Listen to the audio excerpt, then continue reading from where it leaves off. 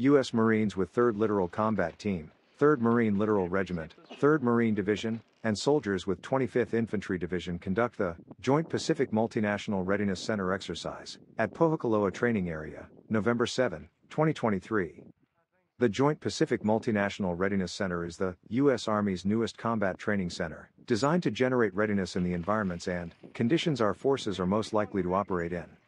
JPMRC 2401 includes over 5,300 training participants. To include members from across the U.S. Joint Force, New Zealand, the United Kingdom, Indonesia, and Thailand. From November 1 to 10, U.S. Marines with 3rd Littoral Combat Team will be conducting training alongside soldiers with 25th Infantry Division at Pohakuloa Training Area during JPMRC.